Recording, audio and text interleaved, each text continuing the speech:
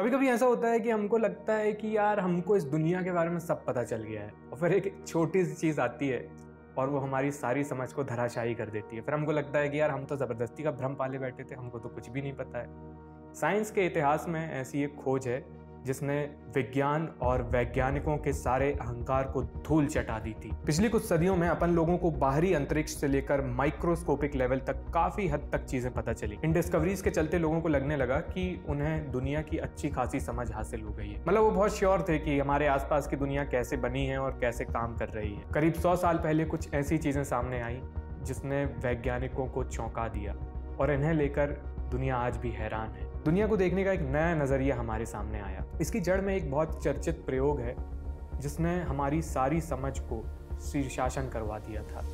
इस मामूली से अदने से एक्सपेरिमेंट का नाम है डबल स्लिट एक्सपेरिमेंट। इस एक्सपेरिमेंट के बाद जो चीज़ें सामने आई, उनसे अच्छे अच्छे साइंटिस्ट का दिमाग हिल गया। वो इस हद तक हिल गए कि उन्होंने इन चीज़ों को मानने से भी इनकार कर दिया। लेकिन जो सामने है, उसे नकारा कैसे जा सकता है? इस वीडियो में हम डबल स्लिट एक्सपेरिमेंट के बारे में बात करेंगे। हम समझेंगे कि एक्सपेरिमेंट क्या है, इसके मायने क्या हैं, और ये प्रयोग हमें किस मोड़ पर ले आया।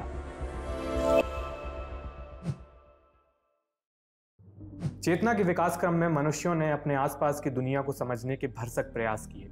वो समझना चाहते थे कि बहुत सूक्ष्म स्तर पर यह दुनिया कैसे बनी है। कुछ प्राचीन फिलोसफर्स ने यह दावा किया कि दुनिया बहुत ही छोटे छोटे एटम्स या परमाणुओं से मिलकर बनी है। इनका मत था कि ये एटम्स हमें साधारण आँखों से दिखाई नहीं देते, लेकिन ये हर पदार्थ की सबसे बुनियादी इकाई हैं और इन्हें विभाजित नहीं किया जा सकता। इनका ये दर्शन विचारों पर आधारित था, लेकिन एटॉमिक थ्योरी के पुख्ता प्रमाण एक्सपेरिमेंटल रिजल्ट्स आज से करीब 200 साल पहले सामने आए। कुछ एक्सपेरिमेंट्स के दम पर यह दावा किया गया कि दुनिया में वाकई कुछ बुनियादी केमिकल एलिमेंट्स हैं और इन्हीं एलिमेंट्स के अनेक एटम्स से ये सारी दुनिया बनी है। ये 19वीं सदी की शुरुआत की बात है। लेकिन आगे के दशकों में बेहतर माइक्रोस्कोप्स और एक्सरेज और अन्य रेडिएशन की खोज हुई। इनके ज़रिए हमें और गहराई में झांकने का मौका मिला। कई और एक्सपेरिमेंट्स किए गए।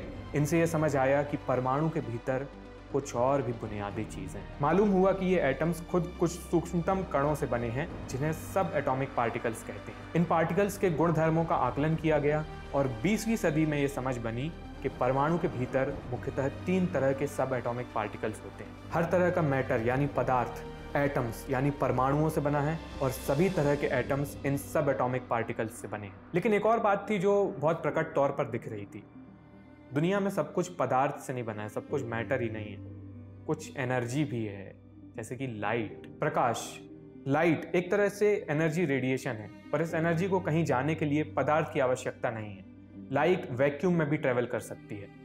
अंतरिक्ष में, जहाँ पदार्थ का एक भी कण नहीं होता। फिजिक्स के नज़रिए से देखें तो लाइट एक इलेक्ट्रोमैग्नेटिक वेव है, विद्युत चुंबकीय तरंग। जैसे तालाब में कंकड़ गिराने पर तरंग उत्पन्न होती है, उसी तरह ये दुनिया हमारे आसपास की और समस्त ब्रह्मांड एक विद्युत और चुंबकीय गुणों वाले तालाब में डूबा हुआ है। और इस विद्युत चुंबकीय क्षेत्र से कुछ तरंगें ट्रेवल करती हैं, इन इलेक्ट्रोमैग्नेटिक वेव्स को हम लाइट यानी प्रकाश की तरह महसूस करते हैं। लेकिन अपन कैसे मान लें कि लाइट का नेचर एक वेव की तरह है? हमको थोड़ी दिख रही है। हमको कहाँ लाइट आ रही? कहाँ वेव है ये? भी हो सकता है कि अदृश्य कणों से, यानी पार्टिकल्स से मिलकर बनी हो और ये लाइट के पार्टिकल्स हमें दिखाई नहीं देते। तो ये तो यार देखो डिबेटेबल है। मतलब लाइट का बेसिक नेचर क्या है? वो वेव है या पार्टिकल है?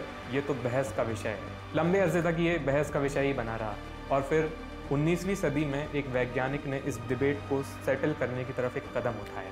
इस वैज्ञानिक ने लाइट के साथ एक चर्चित प्रयोग किया। इसी प्रयोग को डबल स्लिट एक्सपेरिमेंट के नाम से जाना जाता है। स्लिट का मतलब होता है एक बहुत सक्रिय जगह, एक छेद या दरार या झिरी, जहाँ से कुछ निकलने की थोड़ी सी जगह हो। डबल स्लिट एक्सपेरिमेंट में एक प्लेट में दो झिरी, यानी दो स्लिट होती हैं दो बहुत ही सक्रिय ओपनिंग्स आप इन प्लेट की तरफ़ सूक्ष्म कणों को पार्टिकल्स को फेंकेंगे तो नॉर्मल सा रिज़ल्ट दिखेगा। अधिकतर कण इस प्लेट के पार नहीं जा पाएँगे, लेकिन दो स्लिट से होते हुए कुछ बहुत छोटे छोटे कण दूसरी तरफ़ चले जाएँगे। प्लेट की दूसरी तरफ़ स्क्रीन रखी होती है तो उस स्क्रीन पर रीडिंग्स रिकॉर्ड होती हैं, जो भी इस एक्सपेरिमेंट की होती है रिज़ल्ट वो दर्ज होते हैं। डबल स्लिट से कणों को भेजने पर स्क्रीन पर दो धारियाँ बनती हैं, और ये समझा जा सकता है कि ये दो स्लिट से जो कण निकल पाए लगभग उन्हीं के सामने छींटे पड़ रहे हैं। इसी से ये दो धारियों वाला पैटर्न देखने को मिल रहा है। लेकिन आप पार्टिकल्स या कणों की जगह तरंगों को वेव्स को इस दो स्लिट्स के थ्रू भेजते हैं तो एक अलग पैटर्न उभर के आता है और ये पैटर्न साधारण नहीं है। हम पानी की तरंगों में प्रयोग करके देख सकते हैं। इस एक्सपेरिमेंट में प्लेट के एक तरफ़ एक बिंदु से तरंगों को पैदा किया जाता है। ये तरंगें जाकर प्लेट से टकराती हैं। ये प्लेट तरंगों के अधिकतर हिस्से को तो रोक लेती है, लेकिन वेव्स दो स्लिट्स से निकलकर, दो सकरे रास्तों से निकलकर पार हो जाती हैं। इन दोनों स्लिट्स से निकलने वाली तरंगें आपस में टकराती हैं और मिलकर एक नया वेव पैटर्न बनाती हैं। तकनीकी भाषा में इसे इंटरफेरेंस कहते हैं। स्लिट की दूसरी तरफ़ स्क्रीन पर ये इंटरफेरेंस पैटर्न दर्ज हो जाता है। ये पैटर्न देखने में असाधारण सा लगता है, लेकिन जो भी वेव्स की फिजिक्स को समझता है थोड़ा बहुत, वो कहेगा कि हाँ ठीक है, दो वेव्स के सुपरपोजिशन से यही तो बनेगा। इसकी मैथ्स करके ग्यारहवीं, बारहवीं के बच्चे भी प्रूव कर सकते हैं कि दो वेव्स के सुपरपोजिशन से लगभग ऐसा ही पैटर्न बनेगा।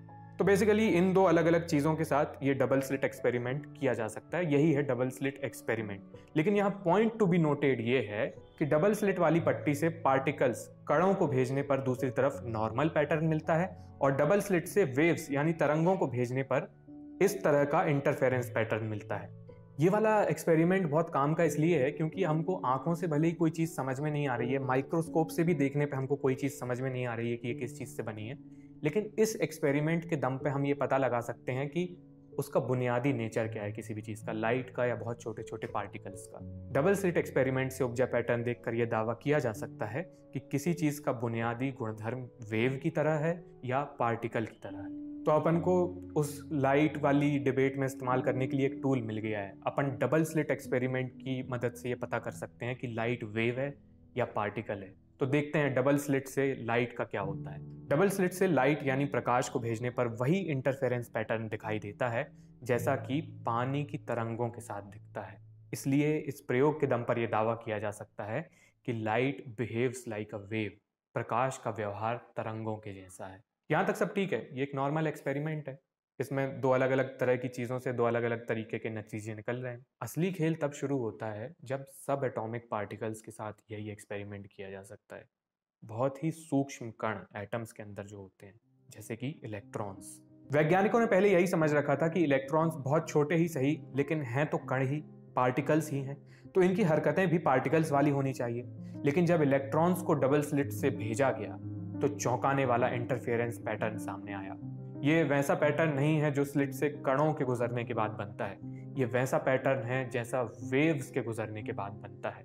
जब ये नतीजे वैज्ञानिकों के सामने आए तो उनको लगा कि यार, हो सकता है कोई गड़बड़ हो रही हो एक्सपेरिमेंट में मतलब इलेक्ट्रॉन्स इतने छोटे छोटे हैं तो स्लिट से टकरा वकरा के यहाँ वहाँ फैल जा रहे हैं और फर्जी में ये इंटरफेरेंस पैटर्न बना दे रहे हैं। तो ऐसा करते हैं कि एक बार में एक ही इलेक्ट्रॉन फायर करते हैं, एक एक करके इलेक्ट्रॉन्स को स्लिट्स के थ्रू भेजते हैं, बौछार नहीं करते हैं तो थोड़ा समझ में आएगा क्या हो रहा है। तो कुछ वैज्ञानिकों ने एक इलेक्ट्रॉन गन ली और डबल स्लिट की तरफ़ इलेक्ट्रॉन्स दागने शुरू कर दिए। एक बार में सिर्फ़ एक ही इलेक्ट्रॉन भेजा जाता है और दूसरे तरफ़ बन रहे पैटर्न को ऑब्ज़र्व किया जाता है। पहले तो कुछ खास समझ में नहीं आया, लेकिन जब एक एक करके कई इलेक्ट्रॉन्स दाग दिए गए स्लिट्स की तरफ़ और फिर वो पैटर्न देखा तो चौंक गए। स्लिट पर दोबारा वही तरंगों वाला इंटरफियरेंस पैटर्न दिख रहा था। इसका मतलब ये था कि हर इलेक्ट्रॉन इंडिविजुअली अपने आप में अकेले ही एक वेव की तरह बर्ताव कर रहा है और एक ही इलेक्ट्रॉन दोनों स्लिट से निकलकर आगे बढ़ रहा है। ये बड़ी अजीब सी बात लग रही थी उस टाइम पे, लेकिन चलो इसे भी स्वीकार किया जा सकता है। विज्ञान के विकास में कई बार दरअसल ऐसी चीज़ें हुई हैं कि हमें लग कुछ और रहा है और है कुछ और। लेकिन कहानी में असली क्लाइमैक्स तब आता है जब यही एक्सपेरिमेंट इन इलेक्ट्रॉन्स के ऊपर नज़र रखते हुए किया जाता है। वैज्ञानिकों को कायदे से यह समझना था कि अगर हर इलेक्ट्रॉन वेव है तो स्लिट से निकलते हुए वेव के रूप में वो कैसे दिखते हैं। ये देखने के लिए डबल स्लिट एक्सपेरिमेंट को हल्का सा मॉडिफाई कर दिया गया। इसमें स्लिट्स के ऊपर एक ऑब्जर्वेशन डिवाइस लगाया गया, जो वहाँ से निकलते हुए इलेक्ट्रॉन्स को डिटेक्ट कर पाए। लेकिन इस ऑब्जर्वेशन डिवाइस से देखने पर इलेक्ट्रॉन एक ही स्लिट से निकलता हुआ दिखता है, जैसे कोई पार्टिकल निकलता है। तो वैज्ञानिकों को लगा कि यार हमारा ऑब्जर्वेशन डिवाइस खराब होगा मतलब ये देख नहीं पा रहा है इलेक्ट्रॉन है तो वेव ही हम इंटरफेरेंस पैटर्न से कई बार ये साबित कर चुके हैं कि इलेक्ट्रॉन्स वेव की तरह इंटरफेरेंस पैटर्न दे रहे हैं। हो सकता है अपना डिवाइस खराब हो। देखो जैसे इस वाले का तो उनने अपने वाले इस एक्सपेरिमेंट का इंटरफेरेंस पैटर्न देखा। और जब उनने वो इंटरफेरेंस पैटर्न देखा, इस पर्टिकुलर वाले एक्सपेरिमेंट का जिसमें ऑब्जर्वेशन ले रहे थे, वो इलेक्ट्रॉन का स्लिट से तो वो पैटर्न देख के चौंक गए। क्योंकि इस बार वेव्स वाला इंटरफेरेंस पैटर्न नहीं बना था। इस बार स्क्रीन पर वही नॉर्मल दो धारी वाला पैटर्न नज़र आया, जो पार्टिकल्स के साथ मिलता है। इसी एक्सपेरिमेंट को कई बार रिपीट किया गया। कई सावधानियाँ बरती गई कि यार ऑब्जर्वेशन डिवाइस में कुछ दिक्कत तो नहीं। थोड़े और मॉडिफिकेशन किए गए कि यार, कुछ और गलती तो नहीं हो रही हमसे। और कई बार एक्सपेरिमेंट्स करने पर वही चीज़ सामने आई। ये पाया गया कि जब भी एक्सपेरिमेंट में स्लिट के पास इलेक्ट्रॉन को देखने के लिए एक अतिरिक्त ऑब्जर्वेशन डिवाइस लगाया जाता है, तब पार्टिकल वाला पैटर्न मिलता है। और जब स्लिट पर नज़र नहीं रखी जाती जब इलेक्ट्रॉन को नहीं देखा जाता तब एक्सपेरिमेंट में तरंगों वाला इंटरफेरेंस पैटर्न देखने को मिलता है। मतलब जब इलेक्ट्रॉन को देखा नहीं जा रहा है कोई ऑब्जर्वर मौजूद नहीं है तब वो वेव की तरह बिहेव कर रहा है। और जब एक ऑब्जर्वर वहाँ मौजूद है जब उसको देखा जा रहा है स्लिट से निकलते हुए तब वो पार्टिकल की तरह बिहेव कर रहा है। एकदम इन्होंने वक्त बदल दिया जज्बात बदल दिए ज़िंदगी बदल दी। भैया मतलब पागल वागल हो गए मतलब क्या लड़का लड़की तोड़ी है जो घर पे झंडू चंपू बने घूमते रहते हैं और इंस्टाग्राम पे एकदम फाइव स्टार वाली फ़ोटो अपलोड करते हैं। इलेक्ट्रॉन की बात हो रही है मतलब क्या क्या बात है कि इलेक्ट्रॉन दूसरों के देखने से अपना नेचर बदल लेता है? ये क्या बात हुई? हाँ भाई नेचर बदल लेता है। और ये सिर्फ़ इलेक्ट्रॉन्स पर लागू नहीं होती है।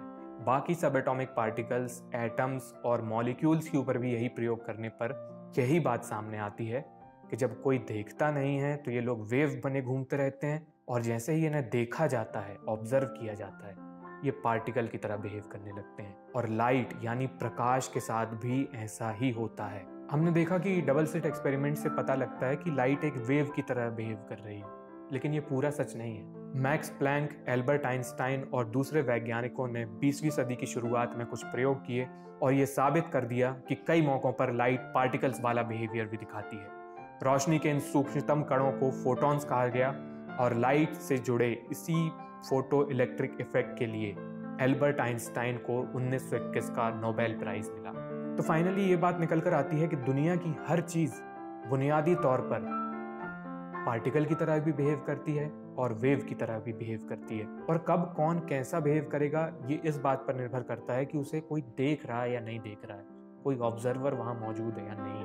Reality is a wave function it collapses into something when observed हमारे आसपास की दुनिया तरंगों की तरह एक मिश्रित अवस्था में मौजूद होती है और जब उसे देखा जाता है तो वह खुद को एक निश्चित रूप में प्रकट करती है। ये क्या साइंस है यार? ये तो है। हाँ तो बकैती है। जो समझ में नहीं आता, वो बकैती लगती है। और इस बकैती का नाम है wave particle duality. Albert Einstein की खोज उन शुरुआती एक्सपेरिमेंट्स में से थी, जिनसे लाइट का डुअल नेचर सामने आया। उसके बाद बाकी सब एटॉमिक पार्टिकल्स में भी यही बिहेवियर देखा गया था। ये डुअल नेचर बहुत सूक्ष्म स्तर पर देखने को मिलता है और साधारणतः समझा नहीं जा सकता। बहुत ही छोटे स्तर पर सूक्ष्म स्तरीय जगत को क्वांटम कहा जाता है और वहाँ पर वेव पार्टिकल डुअलिटी देखने को मिलती है। इस तरह की चीज़ों से वेव पार्टिकल डुअलिटी के आधार पर विज्ञान में एक नई धारा का जन्म हुआ, जिसे हम क्वांटम मैकेनिक्स के नाम से जानते हैं। बीसवीं शताब्दी में फिजिक्स दो मुख्य धाराओं में बढ़ जाती है। एक जो साधारण जो हमारी समझ में आती है विच मेक सेंस जिसे हम क्लासिकल फिजिक्स कहते हैं, और एक जो क्वांटम मैकेनिक्स और रिलेटिविटी जो बहुत ही छोटे लेवल पर और जो बहुत हाई स्पीड पर चीज़ें होती हैं, वो सब मॉडर्न फिजिक्स में पढ़ाई जाती है। जब मनुष्य को ये लगा कि वो सब कुछ समझने ही वाला है, तब उसने चीज़ों को क्वांटम लेवल पर देखा और एक अदने से डबल स्लिट एक्सपेरिमेंट ने दुनिया को लेकर उसकी समझ हिला कर रख दी। मनुष्यों को नए सिरे से यह एहसास हुआ कि वो दुनिया के बारे में काफ़ी कुछ नहीं जानते हैं। इन प्रयोगों से विज्ञान की दुनिया में एक नया दरवाज़ा खुला, जिसे हम क्वांटम वर्ल्ड कहते हैं। जाते जाते कुछ पॉपुलर रेफरेंसेस लेते जाइए। एक बड़े मशहूर प्रोफेसर हुए हैं प्रोफेसर रिचर्ड फाइनमैन फिजिसिस्ट थे बहुत बड़े। इन्हें नोबेल प्राइज़ भी मिला। और ये क्वांटम इलेक्ट्रोडायनेमिक्स के लिए इन्हें नोबेल प्राइज़ मिला। उन्नीस सौ पैंसठ की बात है। तो प्रोफेसर रिचर्ड फाइनमैन ये कहा करते थे कि जो वेव पार्टिकल डुअलिटी है it is the central mystery of quantum फिर उनने एक बार सुधार करके खुद को कहा था कि it is the only mystery of quantum लेकिन ये काफ़ी पहले की बात है, अब धीरे धीरे हमें जैसे और रिसर्च हो रही है तो हमें काफ़ी सारी चीज़ें समझ में आ रही हैं। लेकिन अभी भी ये रहस्य बना हुआ है। फिर भी क्वांटम थ्योरी की जो काफ़ी सारी चीज़ें हैं, अब वो जादुई, रहस्यमयी और बाबाओं वाली बकैती नहीं है। अब वो रियल प्रैक्टिकल एप्लीकेशंस में खुद को प्रकट कर रही है। क्वांटम कंप्यूटिंग इसका सबसे चर्चित उदाहरण है और इसी से जुड़े एक काम के लिए 2022 का फिजिक्स नोबेल प्राइज़ भी दिया गया है। आइंस्टाइन का नोबेल प्राइज़ से क्या कनेक्शन है और 2022 का नोबेल प्राइज़ क्वांटम से क्या, कैसे कनेक्टेड है? ये अपने आप में एक अलग कहानी है, उसके मायने क्या हैं, ये सारी चीज़ें हम समझेंगे अगले वीडियो में। और तब तक के लिए आपको ये वीडियो कुछ भी समझ में आया हो तो उसको लाइक कमेंट शेयर सब्सक्राइब वो सब कर दीजिए। इस तरह की वीडियो में ना सब्सक्राइबर घट जाने का रिस्क होता है। पर ठीक है, ज़रूरी बातें हैं, आगे यही है तो बात तो करनी पड़ेगी। ये वीडियो देखने के लिए आपका बहुत बहुत शुक्रिया।